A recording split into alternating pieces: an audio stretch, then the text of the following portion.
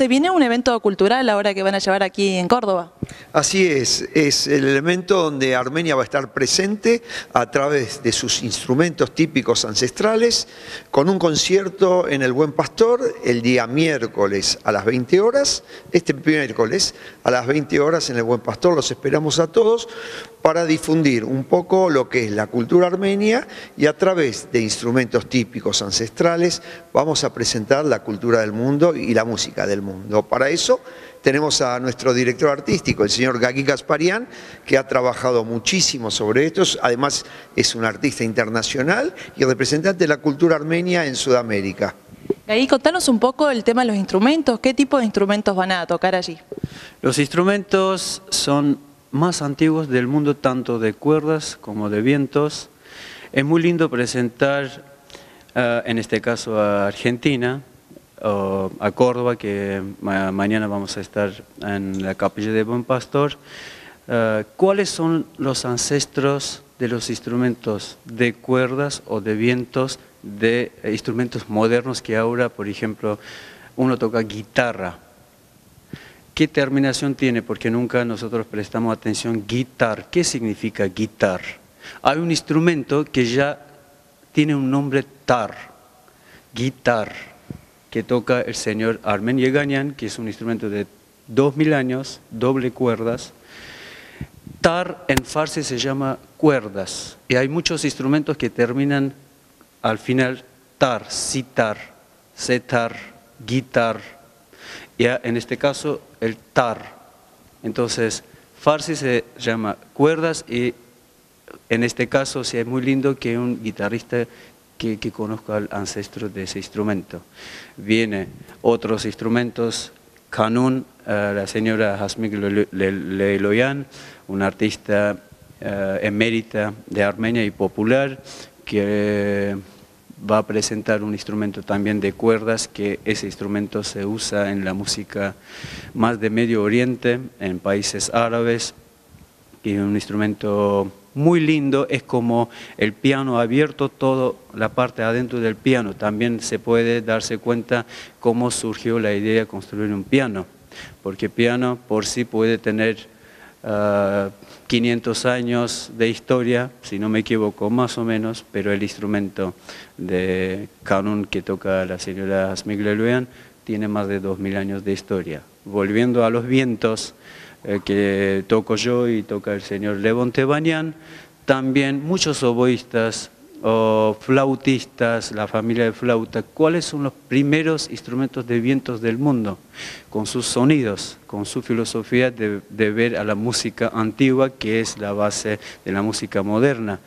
Y a través de todo eso hacer un, o sea, cambiar los lugares, o sea, traer los sonidos antiguos a hacer sonidos nuevos y los sonidos nuevos que nosotros ya sabemos, eh, eh, es muy propio a nuestros oídos, como quedan eh, atrás, ¿no? hacer un intercambio, presentar esa forma y también con un mensaje que la cultura es el arma más importante que puede unir a los pueblos. Porque nosotros o un pueblo, ¿por cómo, puede ir a escuchar, por ejemplo, ópera, nosotros en este caso tango, y los argentinos no pueden disfrutar nuestra cultura, nuestra música?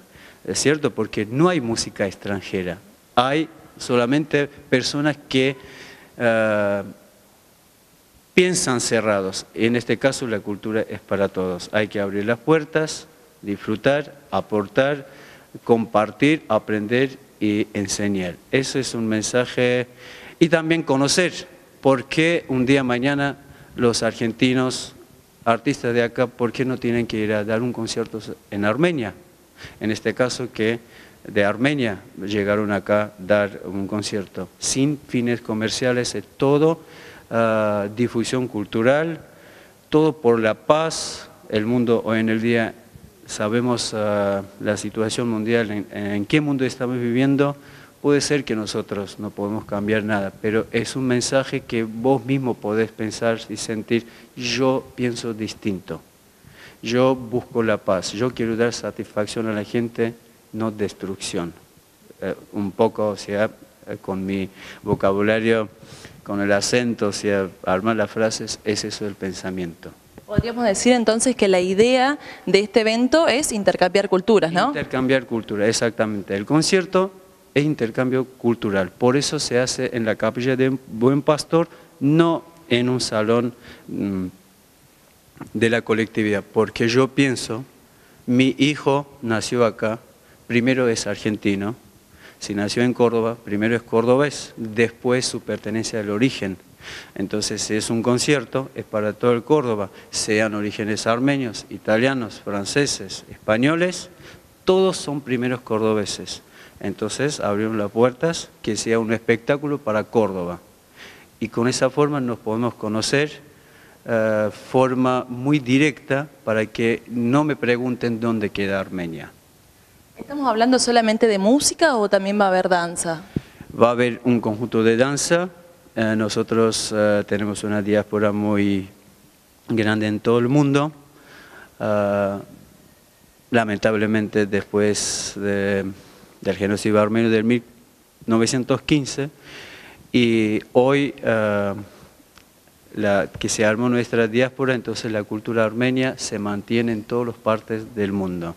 En este caso acá en Córdoba tenemos, ah, la colectividad tiene su conjunto de danza, Unión General de Beneficencia Armenia, otras instituciones armenias, trabajan, mantienen la cultura todos, pero a veces puede ser que eh, cuesta porque cambian generaciones. En este caso, entonces da posibilidades para que se conecten eh, con su cultura, más cuando vienen artistas directo de la madre patria, es otro tipo de sensación para ellos. Va a haber un conjunto de danza, van a presentar tres temas típicos, danzas típicas armenias, eh, un grupo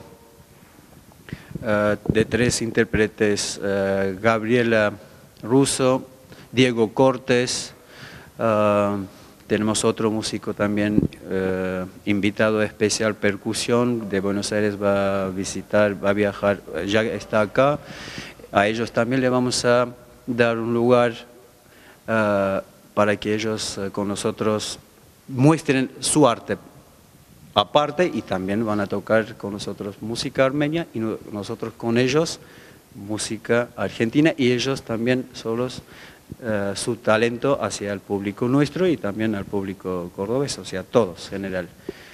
Eso la idea un poco armado y venimos ya dando conciertos desde Buenos Aires, en la Embajada de Francia, después fuimos a Montevideo, de Montevideo llegamos acá y mañana va a haber, en Buen Pastor vamos a dar dos masterclasses, que es muy importante, eh, sin olvidarme, en dos universidades de, Córdoba, en la Ciudad de las Artes, en el Conservatorio, y en la Ciudad de las Artes de Villa María, para hacer un masterclass, concierto a todos los profesores, músicos, estudiantes, ah, aportar, ah, compartir, porque nuestra cultura con ellos para que sepan que la cultura es universal.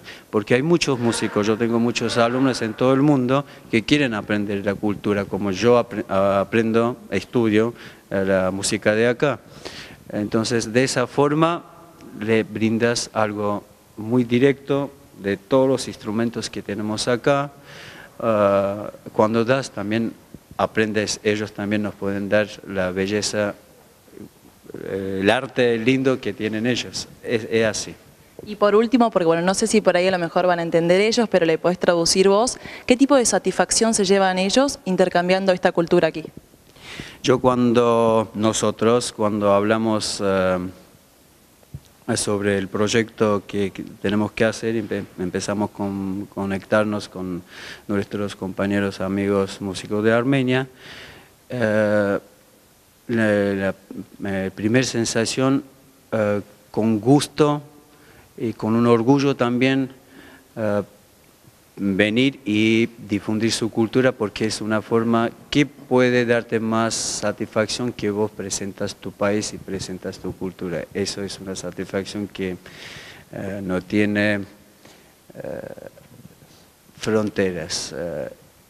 Sus alegrías, yo ya directamente le transmito a ustedes, están muy contentos y aparte me preguntaban, ah, ¿van a ver artistas de acá?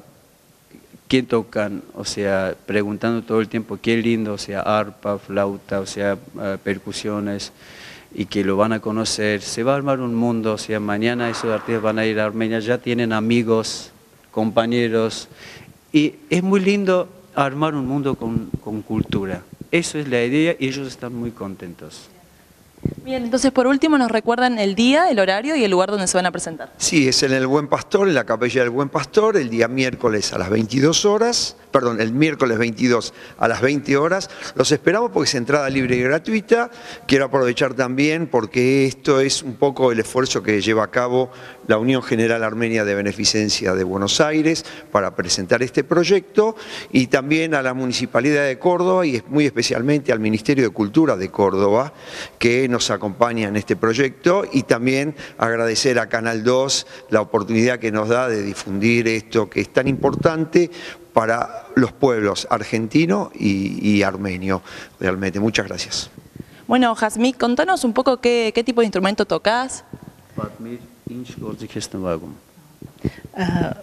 Նվագում եմ հայկական ժողովրդական գործիք, որը կոչվում է կանոն։ Yo interpreto un instrumento de cuerdas uh, típicos armenios que se llama canun, canon. ¿Hace cuánto que tocas este instrumento? Քանի տարի է որ ես գործիքը նվագում եք։ Շատ երկար տարիներ, ամբողջ կյանքի ընթացքում 10 տարեկանից սկսել եմ նվագել դպրոց, քոլեջ, conservatorio, university.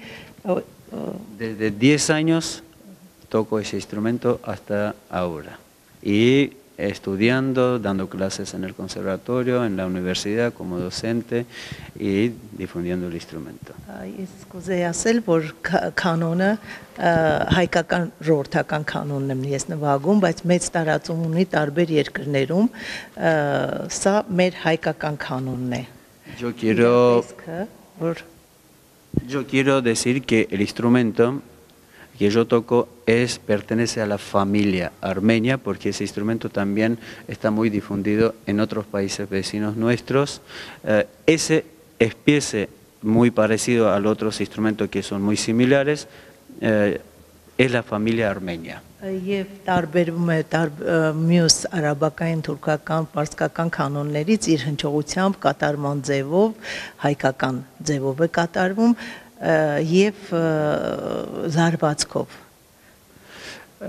su sonido y su afinación es muy distinto de familiares de otros instrumentos de canon que tocan en países árabes y, y persa.